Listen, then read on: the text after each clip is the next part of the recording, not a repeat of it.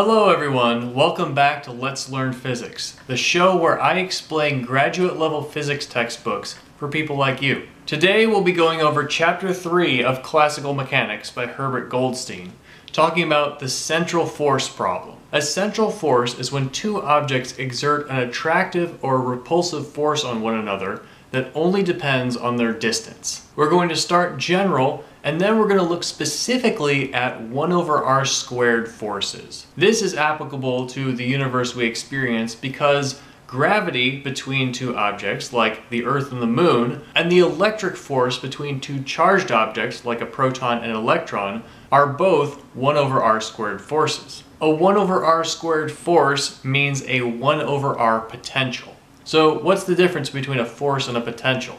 A force is what causes an object's velocity to change, whereas a potential is a landscape where objects roll downhill, or in the case of negative charges, roll uphill. As usual in this chapter, I will be throwing up a lot of equations. The equations are optional. You don't have to understand the equations in order to get the gist of the concepts. In this chapter, we'll be using two coordinates, r and theta. R is the distance between two objects, whereas theta is the angle of their position in their orbits. And remember, a coordinate with a dot on it means a rate of change. So r dot is the radial velocity. It's how fast the distance is changing. Theta dot is the angular velocity. It's how fast the angle is changing. Okay, let's begin. Section 3.1, the equivalent one-body problem.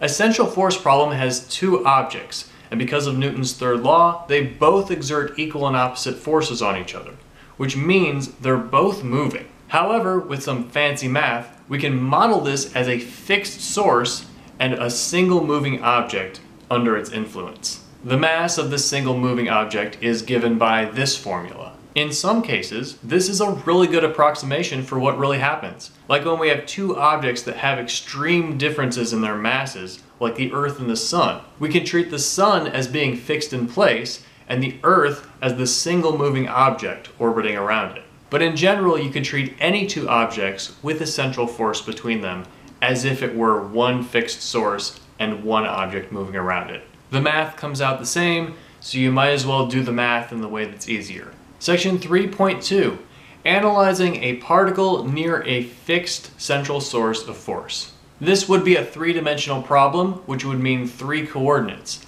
However, since angular momentum is conserved, we don't need three coordinates. Instead, we can have just r and theta, the distance between them and the angle around their orbit. In chapter 2, we talked about cyclic coordinates leading to a conservation of generalized momentum. If we write the Lagrangian for the central force, we can see that it doesn't depend directly on theta. It depends on theta dot, but not theta, which means theta is cyclic and something is conserved. That conserved quantity is the angular momentum. And because a constant times r squared theta dot is conserved, a different constant times r squared theta dot is also conserved. What is that? It is the area swept out by the orbit over time. In the case of gravity, that's Kepler's second law, but it's also applicable to all central force potentials. If we do the Lagrange equation for r, we get this. Notice anything about that? There's no theta, nor is there any theta dot. This equation only has r and angular momentum. This is going to be important in the next section. And that constant there, that's the energy. What this means is that with any two-body problem with a potential that only depends on the distance, momentum and energy are conserved. Now I hear you saying, but we were taught in class that momentum and energy are conserved. Of course energy and momentum are conserved. Why are you telling me this? What I'm telling you is this is how we know energy and momentum are conserved. If we start from a position of saying, I don't know what's conserved, and then we do the math, we do the analysis, we deduce, we learn, we derive that energy and momentum are conserved. The section also simplifies the equations of motion to this, which can't be solved generally, but can be solved when you put in specific potentials. We'll come back to these later. Section 3.3 is the equivalent one-dimensional problem. So far in the video, we've talked about two-dimensional problems where we have the distance, r, and the angle of the orbit, theta. However, because angular momentum is conserved, and we have this equation of motion that does not depend on theta, we can graph this, we can analyze it as if it is a one-dimensional problem. We have the fixed source of the force and the object's absolute distance away from it. We can ignore the angle altogether. So how do we analyze this? How do we plot an object's distance without any information about its angle? Well, we can do this by treating the angular momentum as if it is an outward pushing force, a centrifugal force. You know when you're driving down the road and you take a tight turn and it feels like you're being pushed away from the turn? We all know that that feeling is the car keeping us on the curve in centripetal force. But if we ignore the fact that we're turning and treat it as if we were going straight, there's a fictitious force, the centrifugal force, pushing us in the opposite direction. Centrifugal force may be fictitious, but we can write it mathematically in terms of the angular momentum and treat it like a real force. Its equation looks like this. So to analyze a central force problem in one dimension only, the r dimension, we have two components to the force. We have the attraction or repulsion from the central source, and we have the centrifugal force. These two components add together to give us an effective force. And if we take the derivative of the centrifugal force, we get a centrifugal component to the potential, which we can add to make an effective potential. As we know, energy is conserved. Ordinarily, energy is equal to potential energy plus kinetic energy. In the one-dimensional problem, the conserved energy is the kinetic energy plus the effective potential energy. This gives us an energy plot which, at least for 1 over r squared forces, looks like this. If you've never seen an energy plot before, the function is the potential, in this case the effective potential. The energy is a constant line. The places where the energy intersects the potential are turning points, and you can think of the object as a ball rolling on the potential like a landscape between the turning points. It has to stay on that potential function and it cannot go above the energy. From this graph we can imagine three types of orbits. If the energy is above the maximum potential at large distances, this is an unbound orbit. The particle will come in, it will get close to the object, and then it will go out. And it will keep leaving forever because it will never encounter another turning point. In the example of gravity, this would be like an asteroid coming near Earth, swinging around, and then going out again and never coming back. Because it's traveling faster than the escape velocity. If the energy is lower than the far maximum of the potential, we can have a bound orbit, where the object goes back and forth between the close turning point and the far turning point. This is what we see in planets orbiting the sun and moons orbiting planets. They orbit in ellipses, with a closest point called the periapse, and a farthest point called the apoapse. The last interesting orbit is when the energy is equal to a maximum or a minimum of effective potential. This gives us circular orbits. If it's a maximum, that circular orbit is unstable because a perturbation away from the central force will cause the object to continue moving away. If the perturbation is inward, then the object will go toward and then fly away because it has enough energy now to get over that maximum. At a minimum of effective potential, this is a stable circular orbit because a small perturbation away from that minimum keeps the object in a bound orbit. So here's an interesting observation. If the potential is 1 over r cubed or a higher power of r, then that term will dominate over the centrifugal potential at distance equals zero, which means the force even with centrifugal force, becomes infinitely attractive. You might think, well, that never happens, of course, right? Black holes. Now, what if the energy is lower than the minimum potential? What happens then? Well, in that case, the object doesn't exist. It would have absolute negative energy, which isn't possible as far as we know. Section 3.4 is the virial theorem. Now this is something that came up in my physics education a lot, but I never understood it until I studied it for this video. The virial theorem is a statistical law that relates the average kinetic energy of particles to the average potential energy. It's most useful with large numbers of particles like in statistical mechanics and thermodynamics, but it's also valuable when considering central forces and orbits. The chapter spends time deriving it mathematically, but the important thing is that the virial theorem is this. The average kinetic energy of a system of particles is equal to a half of the average potential energy. It's an equation that can be used as a tool and will come up later in this video. Section 3.5 is titled How to Calculate the Shape of an Orbit, represented as theta as a function of r, the angle as a function of the distance between the objects. So remember the equations of motion we set aside earlier? If we combine those, we get this. This is theta as a function of r. And we can't solve it unless we know what v is, unless we know what the potential is. That's the whole section.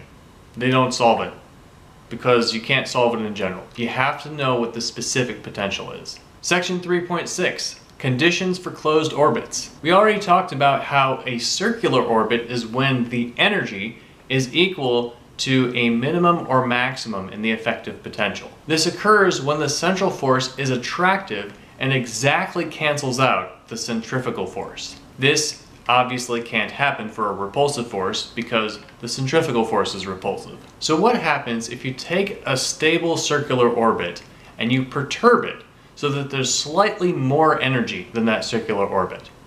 Well, that object is going to oscillate back and forth around the circular orbit. So the question is, does the orbit come back exactly to its original position or does it precess? Does the angle of that ellipse change with each orbit? This section goes into a lot of heavy math to prove Bertrand's theorem. The only central forces that lead to closed orbits with no precession are inverse square forces like gravity and electromagnetism, and Hooke's law, the force of springs. Every other central force function, when you do the calculation, will not come back to its original point. That's actually one of the major ways Einstein's theory of gravity, general relativity, was tested. It was already known that the planet Mercury did not have a closed orbit, but it precessed. Mercury's ellipse around the sun changed a few degrees with every revolution. General relativity accounted for that by having gravity not quite be an inverse squared force. I actually had to do that problem for a homework assignment. In section 3.7, we look at the Kepler problem.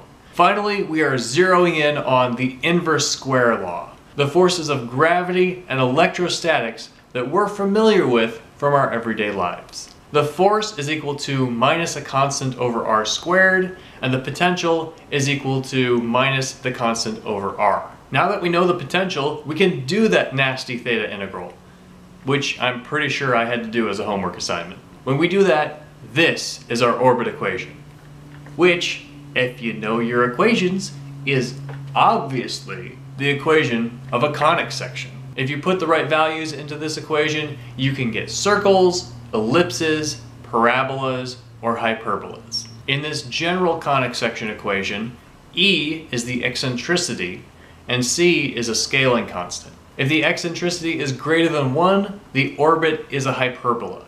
If the eccentricity is equal to 1, the orbit is a parabola. If the eccentricity is less than 1, the orbit is an ellipse. And if the eccentricity is equal to 0, the orbit is a circle. From the eccentricity equation, we can derive that the energy of a circular orbit is equal to this. The section then goes on to prove this, which I would normally leave out, but it brings back concepts that we've used before, so here it is. The energy of an orbit is equal to the kinetic energy plus the potential energy. In the case of a circular orbit, the kinetic energy and potential energy each are constant. This means that the virial theorem, which says the average kinetic energy is equal to one half the average potential energy, is true. It simply describes the kinetic energy and the potential energy. Because if something is constant, it is equal to its average. This means the energy is a function of the distance of the orbit. Because for a circular orbit, the force has to be equal and opposite the centrifugal force, we can find the distance of the orbit in terms of the angular momentum. And when we write the energy in terms of the angular momentum, we find the same relation we got from the eccentricity. Isn't math just so cool? The section then derives the semi-major axis of the ellipse. That is half the distance from end to end of the ellipse. It plugs it into the eccentricity and rewrites r as a function of the semi-major axis and the eccentricity and the angle. If you're a geometry nut, maybe this is familiar to you. The velocity of the object in orbit is given by this equation. It has a component that is radial, that is how fast it's moving toward or away from the source, and a component that's angular, that is how fast it is moving in a direction perpendicular to the source. The chapter uses tables and plots to show that in an elliptical orbit, the velocity is fast when it's close to the source and slow when it's far away from the source. And it's getting dark out, so I'm gonna have to film the rest of this another day. Alright, I'm back. It's not quite as sunny today, but at least it's light out. Alright, now where were we? Oh yeah, 3.8, motion in time in the Kepler problem. So what is the Kepler problem? Johannes Kepler was an astronomer before Newton who observed patterns in the motions of the planets around the sun. He was the one who figured out that the planets move in elliptical orbits. In the context of this chapter, it is an inverse square force with a fixed source, the sun, and objects that move around it, planets, in elliptical orbits. So we've gotten distance as a function of angle in a previous section. What about distance as a function of time? After all, physics is all about predicting where something is going to be at a specific moment in time. Well, it turns out this is really hard because you have to integrate this equation and then invert it. Now, I reread the chapter a couple of times because I thought they were going to solve this problem, but they just didn't. Instead, they used that integral to find different quantities. By substituting in the conic section equation for r and integrating over the angle, we can find the period of revolution, the time it takes for an object to get back to its starting point. The equation we get is Kepler's third law. The period squared is equal to the semi-major axis cubed. Semi-major axis, if you don't know, is half of the long distance across the ellipse. They also calculate the area, which is pi times the semi-major axis times the semi-minor axis. Section 3.9 talks about the Runge-Lenz vector. Now it's kind of hard to imagine what this is, but it is a vector that is conserved in elliptical orbits. Its equation is this, and if we look at our ellipse, it points in the direction from the central force to the closest edge of the ellipse, the periapse. So what's the point of this? Well, because there's a conserved quantity, we can derive stuff with it mathematically. The book uses it to, once again, derive the orbit equation, which is the same as the other two things we've found. This isn't telling us anything new, but it is corroborating things we found in a different way. And in science, that's evidence. From this equation, we can get an expression for the magnitude of the Runge-Lenz vector. So what is the Runge-Lenz vector physically? Well, it's hard to say, but it is something we can use to make our math easier. Section 310 and Section 311 are about scattering in a central force. These are significant enough that I have decided to do a separate video on scattering, so subscribe to be notified when that comes out. And Section 3.12 talks about the three-body problem which, by the way, is the name of a really good sci-fi book. It's not the greatest in terms of characters, but for ideas and crazy sci-fi science, it is magnificent. So if you're the kind of person who watches videos like this, you will most likely love the book, The Three-Body Problem. So what is the three-body problem in physics? Well, up until now, we've looked at a two-body problem, which is two objects exerting a force on each other that only depends on their distance. A three-body problem says, what if we add another one to the picture? In this case, it makes things more complicated because each object exerts a force on each other in a different direction. And you have to add them together as vectors. And because each object is moving, the direction of the net force changes over time. For one and two body problems, the equations of motion can be integrated to give closed form solutions for the motions of the objects which is what we've been talking about for the rest of this chapter. With three bodies, we can't do that. Well, most of the time. Occasionally we can. There are some pretty cool counterexamples. One example is when you have three ellipses with three objects orbiting so that they always all are on a line. Another is if you have three angled ellipses such that the triangle you draw between the objects is always an equilateral triangle. You can have stable three-body problems if one of the objects is far enough away from the others that the other two behave as if they're one object. Such as if you have a binary star with a planet far away from them, or if you have a planet and a moon orbiting a star, or if you have planets at vast distances from one another orbiting the same star. Of special interest to humans is a system that has two highly massive objects, but a third object that has comparatively almost zero mass, like a space shuttle orbiting the Earth, which is orbiting the Sun. There are places in an orbit like this where the pull of the Sun and the pull of the Earth and the centrifugal force all cancel each other out, giving points where a small object will remain stable relative to the Earth and the Sun. These points are called Lagrange points, and they're given the labels L1 through L5. L1 is partway between the Earth and the Sun. This is where the Earth pulls on the satellite, canceling out enough of the Sun's pull on the satellite so that it orbits with the same speed as the Earth. L2 is on the dark side of the Earth, where the Earth's gravity adds to the Sun's gravity to increase the speed of the orbit, keeping the object on the dark side of the Earth. L3 is on the far side of the Sun, in almost the same place where the Earth would be if it were over there. L4 is in Earth's orbit ahead of the Earth, and L5 is in Earth's orbit behind the Earth. Of these five Lagrange points, only L4 and L5 are stable. The rest any satellite put in those positions will have to make micro adjustments in order to stay there. The Earth-Moon system also has five Lagrange points in similar positions. And that's it for Chapter 3. We analyzed everything there is to know about central force problems. That is a force between two objects that only depends on their distance, not their angle in relation to each other. Such problems can be reduced to one-dimensional problems if we treat centrifugal force as if it is a real force. The virial theorem suggests that the average kinetic energy of a system is equal to half the average potential energy. We looked at how to calculate the shape of an orbit, whether it closes back on itself or it precesses with successive revolutions. We found that in an inverse square law, orbits are like conic sections, hyperbolas, parabolas, ellipses, and circles we found the period and area of elliptical orbits. I'm going to devote a whole bonus video on scattering in a central force because that is something that is used all over the place in experimental physics and is incredibly important. And finally, we talked about the difficulties with the three-body problem. Chapter 4 is about the kinematics of rigid body motion, that is, solid objects. So subscribe if you want to be notified when that comes out. Let me know what you thought in the comments, don't forget to like, and if you think this type of analysis is valuable, you can support me on Patreon. Thanks for watching. I'll see you next time.